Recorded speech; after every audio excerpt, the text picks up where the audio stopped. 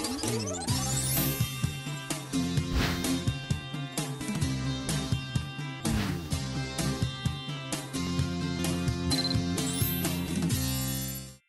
สดีครับ อร่อยเลิศกับผู้รีในวันนี้ พามาที่อาซอหูฉลามสาขารามอินทรา 30 แห่งนี้ครับ บรรยากาศภายในร้านตกแต่งในสไตล์จีนด้วยสีมงคลอย่างสีทองและสีแดง อาหารของที่นี่เป็นอาหารจีนที่มีการผสมผสานระหว่างแต้จิ๋วและกวางตุ้ง ที่รสชาตินั้นรับประกันความเที่ยงตรง เพราะเชฟทุกคนต้องผ่านการฝึกปรือฝีมือจนช่ำชองจากเจ้าของร้าน เพื่อให้ได้รสมือที่เป็นสูตรของที่ร้านเท่านั้นครับ อย่าง ติ่มซำหลากหลาย ที่ทำแบบสดๆร้อนๆจากเตา โดยเฉพาะเมนูขายดีอย่าง ขนมจีบกุ้ง ใช้กุ้งแชบ๊วยตัวใหญ่ มีวิธีการดึงความหวานความหอมของกุ้งแท้ๆออกมาได้หอเจี๊ยะจริง ๆ ครับ อีกหนึ่งเมนูขึ้นชื่อก็ต้องนี่เลยครับสเต็กหอยเป่าฮื้อตัวใหญ่ยักษ์จากเม็กซิโก เป็นเป่าฮื้อที่ดีที่สุด แต่เมนูที่อาซอหูฉลามจะส่งมาต้อนรับกูรูอาหาร คุณรินและพิพันธ์ในวันนี้ เป็นเมนูจักรพรรดิอย่างหูฉลามที่รสอร่อยเลิศและแปลกล้ำในการเสิร์ฟ มาพร้อมกับขนมไหว้พระจันทร์ที่ขอเอาใจวัยรุ่นด้วย จะเป็นอย่างไรต้องติดตามครับ อร่อยเลิศเช้าวันนี้นะคะ ต้องบอกเลยว่า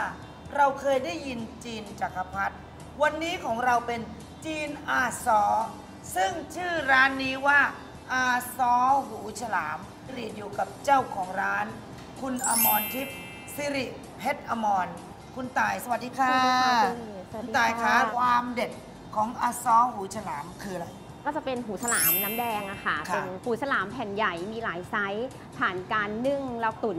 ทำให้หูฉลามมีความนุ่ม ตัวน้ำซุปเราคัดสรรวัตถุดิบอย่างดี ค่ะใช้เวลาตุ๋นเป็นวัน แล้วมีความหอมมากในการเสิร์ฟของเรา เราจะมีการโชว์ให้เห็นว่าหูฉลามของเราเป็นแผ่น มีเส้นใหญ่สวย มีน้ำซุปเป็นหม้อดินเดือดทุกหม้อเสิร์ฟให้กับทุกๆท่านค่ะ แล้วมีอะไรจ๊ะ ค่ะ ตอนนี้ก็ก็จะถึงเทศกาลไหว้พระจันทร์ค่ะ ค่ะทางร้านเราก็ทำขนมไหว้พระจันทร์ค่ะ ปกติจะมีไส้ลูกบัวโง่ยิ้ง ไส้ทุเรียนมีมาทำเพื่อที่จะเอาใจวัยรุ่นเอาใจเด็กเป็นไส้คัสตาร์ดค่ะไส้กาแฟว้าวแล้วตอนนี้คือใหม่ล่าสุดที่ของเราทำเป็นแห่งแรกคือขนมไหว้พระจันทร์ไส้ลาวาค่ะ สารพัดเลยเป็นไงคะ ขอบอกเลยว่า เมนูที่อาซ้อหูฉลาม ไม่ใช่อร่อยธรรมดาเลย หรีดขอการันตีว่า อร่อยเลิศค่ะ ชักอยากจะลิ้มลองความอร่อยกันแล้วใช่ไหมล่ะครับ เชิญมาได้ที่ร้านอาซ้อหูฉลามสาขารามอินทรา 30 ตั้งอยู่ที่ถนนรามอินทรา ติดกับปากซอยรามอินทรา 30 ครับ อาหารรสชาติอร่อย สดสะอาด ได้มาตรฐานของคุณรีดและพิพันธ์แบบนี้ ก็ได้รับการการันตีจากคุณรีดไปเลยครับ เพราะอร่อยอย่างเดียว ไม่พอ